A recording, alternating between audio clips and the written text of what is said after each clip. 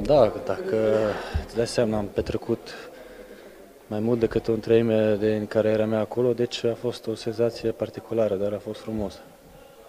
Cum e simțit pe acest Obosiți cu calificare, dezamăgiți după deplasare? Păi sigur, și noi și ei obosiți uh, au făcut o performanță importantă acolo în Turcia, dar uh, bineînțeles au, sta, au făcut o deplasare lungă și uh, poate fizic nu erau Poate moral, nu, nu sunt jos. CFR rămâne CFR și după o înfrângere mai mult uh, revin, adică mental sunt foarte puternici, dar uh, bine, asta s- a fost o luptă grea, ca de obicei meciurile între CFR și FCSB, dar uh, am tras-o bine astăzi. Sunteți favoriți la titlu? Cum?